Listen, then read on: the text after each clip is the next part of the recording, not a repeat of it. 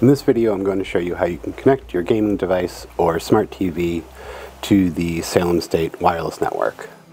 First you'll need to use the QR code on screen to get to the device enrollment page. Once you're here you'll click on enroll and then you'll sign into your account.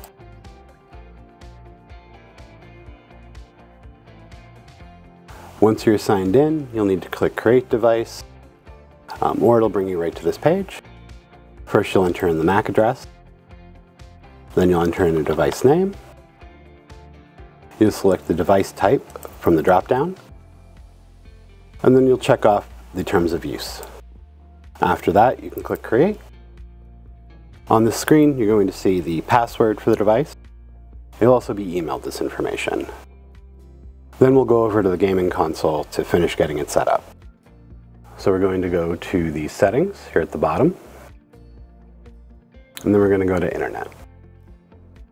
Internet settings. It's going to scan for the network. For all devices, you want to choose the Salem State IoT. And then you're going to enter in that password that you were given. After that, you can click OK, and then it should be able to connect.